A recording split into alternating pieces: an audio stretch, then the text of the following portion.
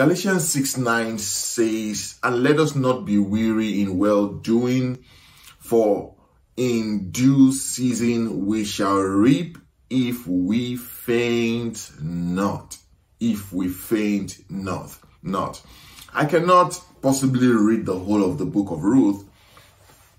Um, it has four chapters, but it's a very significant story. A testimony is always about the story, not just the outcome, uh, not just the event, but the story behind the event is what the testimony is. You can, you can, the it, it, testimonies are never about the headlines. It's usually about the story. You know, you, you can have any, consider a, a headline that says, uh, Tiger Woods become number one in the world or, um, somebody won a gold medal in in a Grand Slam event, whatever the story is, that, that's just the headline. But the testimony is that what makes the glory, the story to be great. The glory of a story is in the events that happened leading up to it. Because eh, anything, almost anything can happen to anybody. But what constitutes how impactful it is to others or the depth and the greatness of the story is actually in the event leading up to it. The writer, the writer of the story of of um, of the book of Ruth mentions first of all talks about a man called Elimelech who moved to um, Moab to start a life because there was famine in Israel, in, in um, Judah, actually, but moves to Moab in search of a better life. So the story starts about a family who moves to Moab in search of a better life, trying to make their lives better and all of that. And so it starts with the mention of Elimelech, which is this man and the interesting thing is that even though it's the book of Ruth, the story does not start about the way the story starts. It's not about Ruth. It's about Elimelech and how he went to settle in the land of the Moabites with his wife called Naomi. And they are two sons just trying to make life better and survive. And the book, as the story begins to unfold, we begin to see um, that another character comes up later named Ruth. Uh, in fact, then the book is and ends up being titled the Book of Ruth. A family, uh, this family is about a man, his wife, his two sons, who when they get to Moab, the two sons get married, and one of the wives is uh, Orpah and the other is Ruth, a family who, the whole, talking about this whole family who had not uh, met, met Ruth yet as at the time that the story started, but it then unfolds that Ruth becomes the main character. And the story, the writer then tells us how Ruth comes into the picture and and one thing leading to the other and uh, and I, I asked myself then reading through the story, why does he give us a background then? I mean, he, he goes back to why they moved to Moab and all of that. He went back to why, what happened, so we can appreciate what God did in Ruth's life. How God turned a life, her life around. So the testimony is in the story, just like you uh, under the sound of my voice today, every one of us, our testimony is in our story. Your testimony is in your story, not just where you are, but what you had to get through, what you had to go through to get to where you are. I was listening to a, a, a very renowned speaker called Les Brown, and he was talking about this, and it really got my attention because he was, if, if he said, he said a story his story, I mean, just a part of his life, just something, mentioned something that really resonated with me. He said he got his mother a Cadillac, um, top range, top of the state of the art car. I think it was in the 90s and all of that. And that's what happened. That's, but that's not the story. So you really never appreciate what really led to it until he begins to unfold it and says that one night they were coming back from church while he was a child. Um, and he and his mother, his father was not present. He had left them when he was a baby and it was cold. It was a cold winter night and they were they didn't have money to get a taxi or anything so they were walking home and uh, he could feel like his mother was not really was was was going through you know because she was not happy that she's having to put her child through all of this and then a car passes by who they were trying to wave down to give them a ride and the car does not even the not it's not enough, as if it wasn't enough that the person didn't give them a ride, the car spilled water from a pothole on the road on both of them in a cold winter night. And he said one thing that he said to his mother that night that, Mama, I am going to buy you a Cadillac when I grow up. And his mother never forgot. So when he eventually became successful and bought the mother a car, and it was a Cadillac, that made her mother so emotional remembering that night. Now, why did I take time telling you this story? Just because you, it's important to understand that, just to highlight that the fact that I said he bought his mother a Cadillac does not tell the story. What makes the story impactful? What makes the story, uh, what makes you to be able to relate with the story or with the headline is the story behind it, how what they went through and what that meant to them. Glory to God. So I am saying this because the glory, just to highlight that the glory of God in your life has a lot to do with your story. what you so if you've been through anything, if you've gone through anything, it is that the glory of the story will be greater.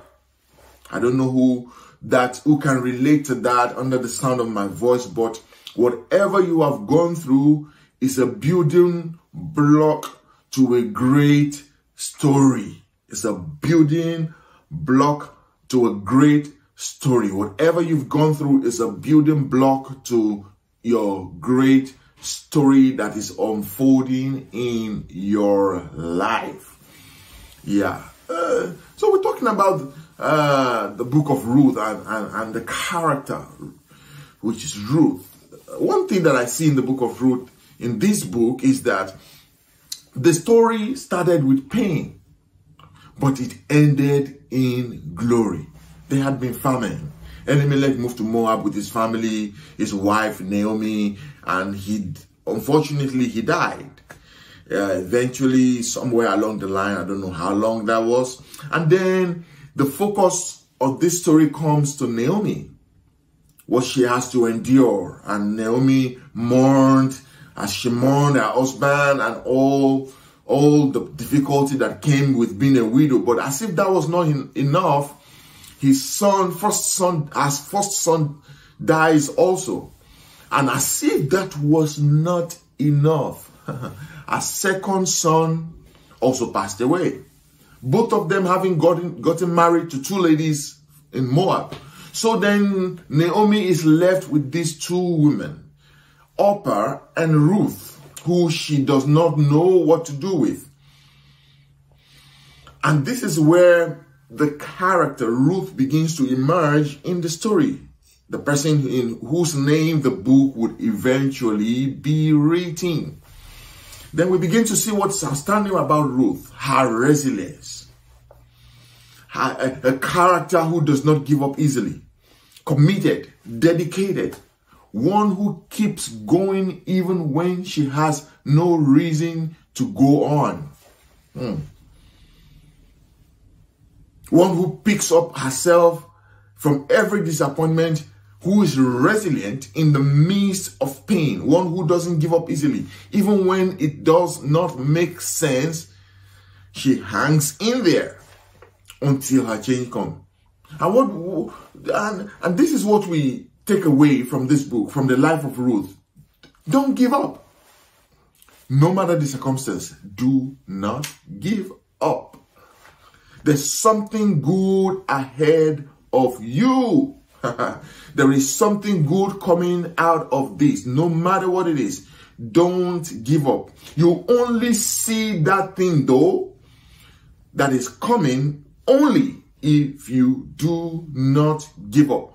Only if you don't stop going forward. And I'm going to keep reiterating the scripture at Galatians 6 9. And let us not be weary in well doing, for in due season we shall reap if we faint not.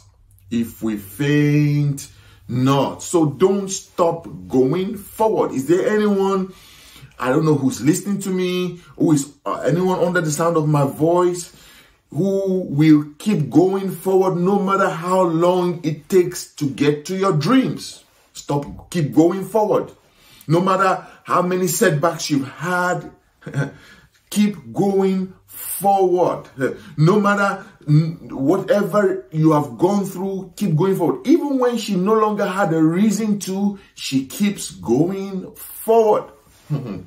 Glory to God. You don't need a stronger reason to keep going forward than the fact that there is a God in heaven and that he is able to turn any situation around if we faint not. I mean, her husband is dead. And that's the only rope that ties her to her mother-in-law Naomi. There is and on top of that, there is no child. She's childless. She has she she just lost her husband. What can be worse? So legally, she's free to go. It was lawful to leave Naomi at this point. She had every ground to quit. She had every reason to quit, but Ruth did not. It doesn't feel good, but she doesn't quit. It doesn't make sense, but she doesn't quit. And what we see in this is the power of persistence, the power of consistency, especially in the midst of uncertainty, because it's easy to hold on and keep going when you know the outcome. it's easy to keep going when you know where everything is going to end. But to not know where all of this is going, to not know where things are going to end, to not have an idea where this is all leading up to, but to keep going all the same, that is outstanding. That is noteworthy. That is what is uncommon about greatness. That is what's most uncommon factor actually that we find in this story. Hmm.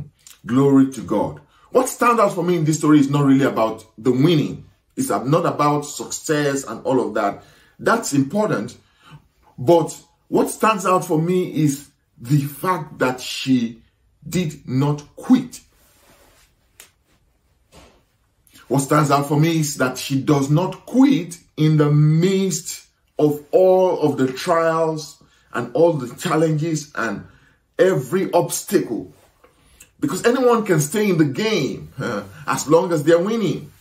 Anyone would stay in the game as long as they're winning. There is a kind of winning though that happens because, let me say it like this. There's a kind of winning that happens because you played well, because you had a good game. You had the game under control. You know, you had a wonderful game. But there's a kind of winning that comes from just refusing to quit.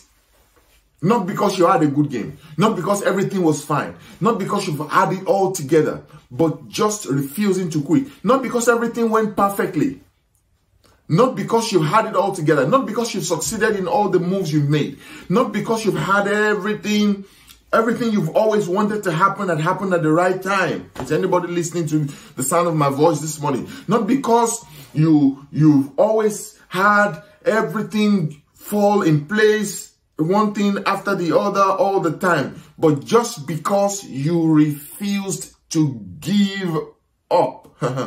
I don't know who I'm speaking to, but I am let I'm here to let you know that there is a blessing ahead of you. There's, there's success ahead of you. There is greatness ahead of you. Not because everything has always lined up very well, but because you refuse to give up. There's a victory that comes because you had a good day. But I'm talking about the victory that comes. What we find in this story is the victory that comes as a, as a result of not quitting, as a result of not giving up because of a bad day. No one wins, no one wins because they never had a bad game or a bad day or a season. Winners win because they refuse to quit. Hallelujah. So the strength of not quitting sometimes is greater than the strength of winning. Mm. Anyone can keep going as long as they are winning. But losing, yet not quitting, is not for the faint hearted. It's what separates the men from the boys. it's what separates the women, separates the women from the girls. It's one of the true tests of character. Some people get it right the first time. I mean, it's praise God for your life if you're one of those fortunate ones who everything you've always done fell in place. The way you thought it was going to go was how it went. Everything came at the right time when you were 17. You had you had things fall in line as you wanted when you, you were 23 everything came together as you wanted you were where you want to be in your 30s you're where you want to be in your 40s but not everyone has life doesn't always play exactly how we figured it will play out some people don't get it right the first time but some of us have some of us and i keep saying some of us have had to go through something to get to where we are today you learn more actually when you don't get it right, but stay in the game until you get it right. That is the strength of character. the person who has failed the most has the most stories to tell. The people who have had many attempts that didn't get it right and eventually got it right have greater lessons to teach than people who got it right the, right the first time. Mm-hmm. Glory to God. Thank you, Jesus. The people who have made mistakes have more people listening to them than people who have never made mistakes because they can they, they know who can relate with where they are because it's not a perfect world glory to god so what we see in this story is not just winning because you got everything right, but winning because you refuse to quit. There's a difference between winning because you got it right and winning because you just didn't quit.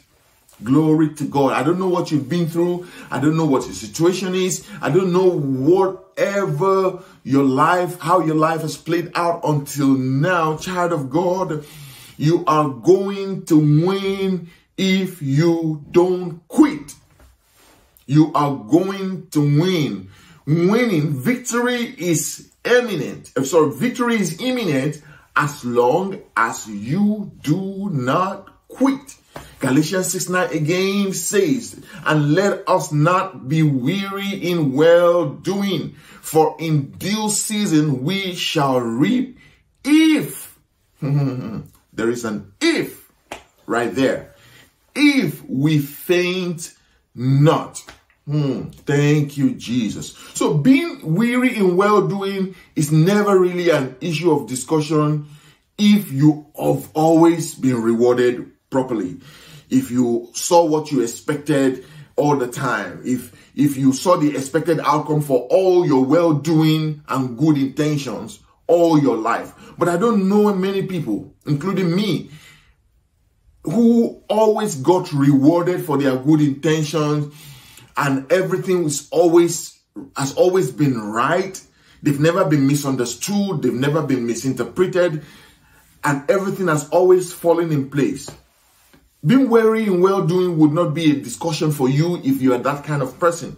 But we're talking about people who have done, who continue to do what they feel is right and trying to take the right steps and just done everything as honestly, as well meaning as they could, but it just didn't come out with the same result as they thought. The results have not, I don't know who I'm talking to. Maybe there's one or two people whose results are really, are really, really have not matched their effort, uh, whose output has really not been a reflection of their input. If you're the one I'm talking to, you are in the right circle, you are in the right place because you have the perfect opportunity, you have the perfect story for God's glory to be revealed. Glory to God. Let us not be well weary in well doing, for in due season we shall reap. If, take note of if we faint not, take note of the word if.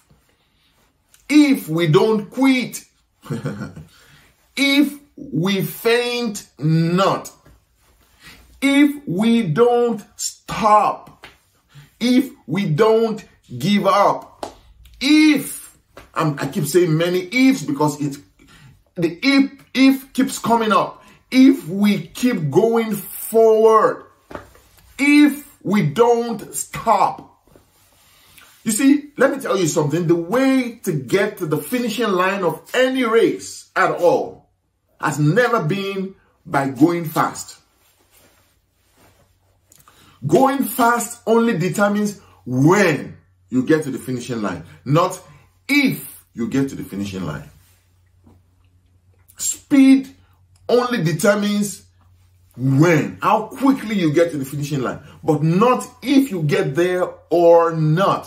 What determines if you get there is if you stop or if you don't stop. The only way to get to the finishing line is by not stopping. No matter the speed you're traveling at.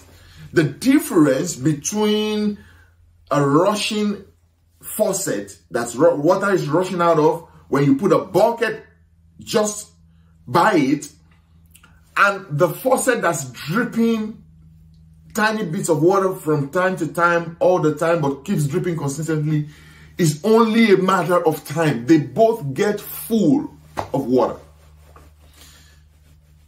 The buckets get gets full in both instances, that one just gets full before the other. And I found out in life, you really can't determine what speed and the speed of your success, the speed of how your story turns out, and all the things you've been doing and all the things you've ever done, how they come together to get you to your goals. So the only thing you have control over is your attitude. We don't always have control over our circumstances, but we have what we have control over is our attitude. And what attitude am I talking about today? The attitude of not giving up. You can do that. That is within your reach. That's within your power. That's within your control.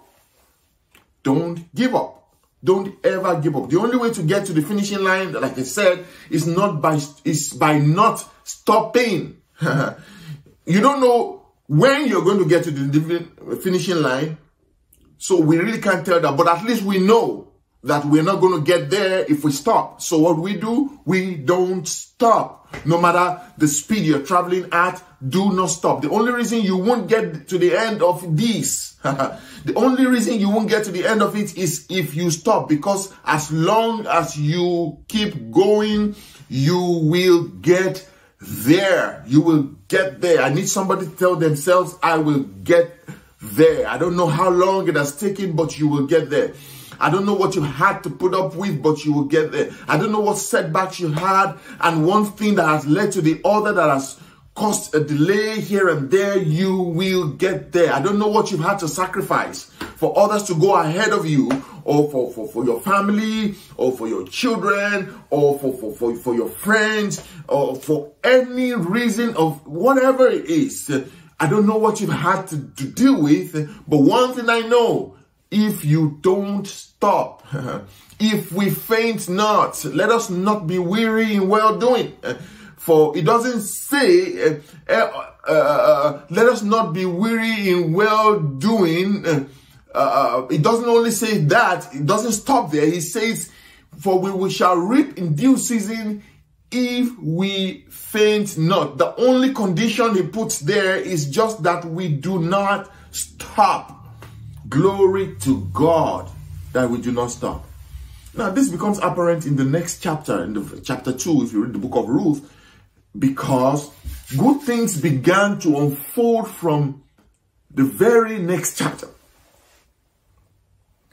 Because if she had quit in the first chapter, she wouldn't have been seeing the blessings that would begin to that began to unfold in the next chapter. Uh, when I flip to the chapter 2 of the book of Ruth, I begin to see things start to happen Whereas chapter one was a whole one bad story after the other, one disappointment after the other, one loss after the other. And I tell you, children of God, child of God, I don't know who you are, listening to the voice of my to the, to the sound of my voice, you might have had defeats and, and losses and things not adding up, things not coming up right in the previous chapters of your life, but there is a new chapter emerging. Glory to God. There would not have been a chapter 2 of the book of Ruth. In fact, there wouldn't have been a book of Ruth at all in the first place if she had quit because of the events of the last, of the first chapter. I tell you, children of God, there is nothing that is going to, there is no raw material for God to use for your, for your glory of your story if you quit or if you stop going forward. The fact that she didn't quit is the reason that the book of Ruth exists. There would have been nothing notable, nothing to write home about, nothing to mention, nothing worthy of writing in a book if she had ever tried or if she had quit. We would have never, never, ever heard of her. But because she didn't quit, there was a next chapter. I came to let you know, child of God, there is coming a next chapter of your life if you don't quit. This is not the end of your story. This is just the beginning, the making of a whole new series.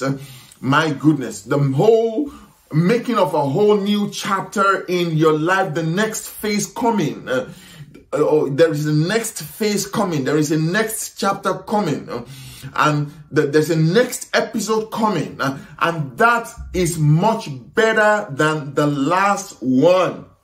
Your chapter two uh, is better than the chapter one of your life. Oh, glory to God. Your latter will be greater. Greater things are ahead of you.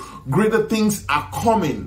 The next chapter is better than the last one. Just do not Quit. Don't quit. Don't give him the towel. Don't throw in the towel. The next chapter is better than the last one. The next chapter is better than the present one. One of the indicators we see close uh, at the close of chapter one, in, uh, the book of Ruth, going to chapter two, is chapter one closes by saying, and they arrived Judah at the end, at the beginning of the barley harvest. And they arrived Judah. That's Naomi and Ruth. After uh, uh, it was just two of them left, and they decided to relocate and go back to Judah.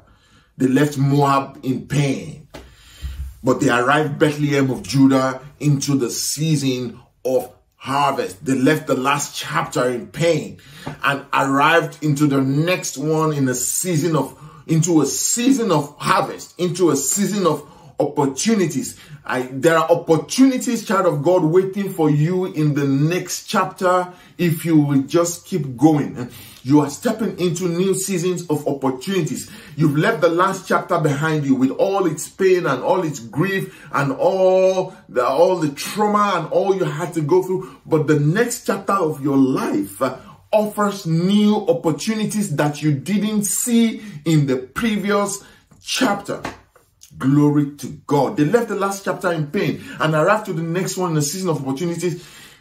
That is what is unfolding as, as, as in your life because the Bible says the path of the righteous shines brighter and brighter and brighter eh, until the perfect day. God was still ordering the steps of Ruth and Naomi in the midst of all the pain. They went through pain in Moab and all the, all the, all the anguish and pain, all that they had to go through. But God was still ordering their steps. They returned to Judah. and it happened to be in a season that that put them in a season of opportunity. That put them in the path of opportunity. They did not give up. They made the move. They went forward. Glory to God. They did not sit down in self-pity and say, just this is the end of my life. Even though Naomi changed her name to Mara, which means totally opposite of the delight that her name is. It means uh, she's uh, bitter waters. That's what it means.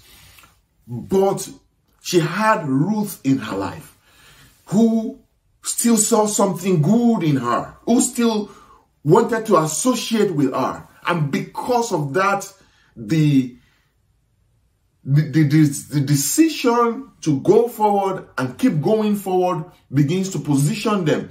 Because look at this. This is the context. Ruth is a Moabite and she's, she's now come to Israel, I mean to Judah. She's not, uh, she's, she's, she's, she's not an Israelite. She's not one of the, she's not from the tribe of Israel at all. She went to Judah only because of Naomi. And as she begins to walk and settle down to a new life in Judah, first thing you will notice is that they seem to have a different mindset here in Judah. The atmosphere in Judah is different from Moab. Judah, Judah is more of a happy, happier place than Moab.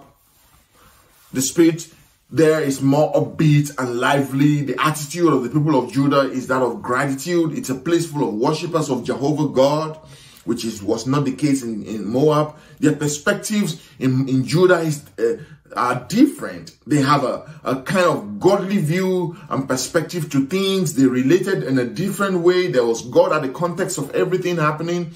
There, they greeted each other in a godly way. You see that when Boaz came to his field, and his servants arrived on the farm too. Verse 4 and says, And behold, Boaz came from Bethlehem and said to the reapers, The Lord be with you. And they answered him also, The Lord bless thee. That was the culture in Judah. it now it's, a, it's a different culture, it's a different context. And the mindset here is definitely different from Moab. The people here seem to have a mindset and a culture and attitude of gratitude, like I said, and it, it shows in how they relate. So Ruth begin now, Ruth has to begin to learn a new culture. She, she's picked herself up. She has a fresh start. She's in a different environment. A Moabite woman. She's just moved to Judah as a foreigner. What a way to start life in a whole new context. She was married, now she's single. I mean, everything is different. She she wasn't planning of getting married again, but now she's single. And everything is just different. This is this was a big deal in their culture.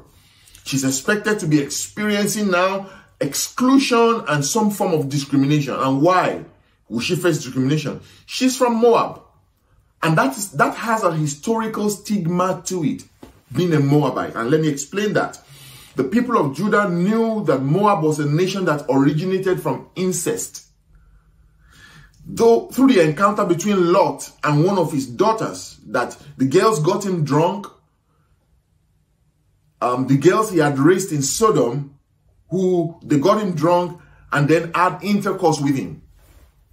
And that's what the child that came out of that was Moab. Even though the, the family of Lot had left Sodom at the time, but Sodom had not left the family because the children had did that to their father. And that and that the fact that God would pick someone Mm-hmm. from that lineage of Moab and include them mm-hmm, in the lineage of Jesus Christ is amazing. How God favored Ruth. How God showed her favor. I tell you something, God in fact uses people who are considered to be underdogs, unimportant, unimpressive, from humble beginnings, people who are outcasts, people who people are who have been written off. God uses people who have been written off from man's perspective. It's amazing how God included includes them in his plan for their generation. And they are the ones that God uses, the, the rejected, the despised people of this world. He uses all, God uses all of these events, such as famine, Naomi's relocation to Moab, their return to Bethlehem, to reveal his plan and purpose. God uses all these events to ensure that Ruth could be part of his plan. She gets incorporated and included in the tribe of Judah, despite all that has happened to her. My goodness. Her inclusion in Judah came because of her disappointment in Moab. Hmm, my goodness. Now, it's interesting. It's another thing to say it came uh, in spite or despite what happened in Moab. But her inclusion in the tribe of Judah, in the lineage of Jesus Christ, happened because, and that is the word that changes everything, because of the disappointment that had happened. Because if, had, if this hadn't happened, she, if her husband had not died, she would never had, had to move to, to Moab, uh, to, to Judah. And if this hadn't happened, that wouldn't have happened. One thing led to the other. Judah would have been impossible. What happened in Judah would have been impossible without the disappointment in Moab. God has something greater in store for you than anything you have ever seen in your past. And when God begins to, when as God uses those things, He will continually uses those things to push you further into your purpose and into His plan for your life. And at the end, it seems like all of that was in His toolkit, in His toolkit, and they were instruments. They have been instruments hmm, of God's glory. The transition and relocation to Judah is a significant part of this story. It was a turning point because we see that though they couldn't undo the past, they, they, they, they decided to embrace a new future. they created a new future for themselves by, by their attitude, by a, a, an, a, an attitude that never gives up or that doesn't quit, that just continues going forward, irrespective Though they couldn't change the past, they created a new future. No matter how rough and difficult the past may have been, you still have a great future. There's a great future ahead of you, child of God. Your future is great. Your latter, you are just entering into the into the best years of your life. the best moments of God's glory being revealed in your life are just starting. Glory to God. As difficult as the past might have been, you can't change it. The only thing you have control over is the future. We have no control over yesterday. Tomorrow is imminent. It will surely arrive. The only thing we have control over is our attitude. The toolkit for tomorrow is our attitude today. The best decision they made was to create their tomorrow, even though they couldn't undo their yesterday. No matter how much they started, they kept going. And they started to rewrite the next chapter of their life. They must have thought, we don't know what we're going to get here when we go over there, but you know what? We're here. We don't know how we got here. We're here. We're just going to have to keep on going. We're just going to have to go on. They came back to Judah and begin life afresh. Ruth started a new job. you know, to begin to glean in the fields of Boaz. She's picking up remnants of the of the harvest because there has been a law in Leviticus that God asked Israelites when they reap their crop, they should intentionally leave some behind and not reap everything. Don't harvest everything. Leave some of it for the poor. And that was what Boaz and his men did.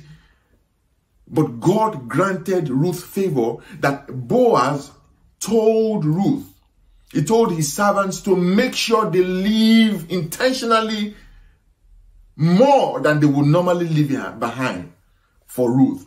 And God granted her speed.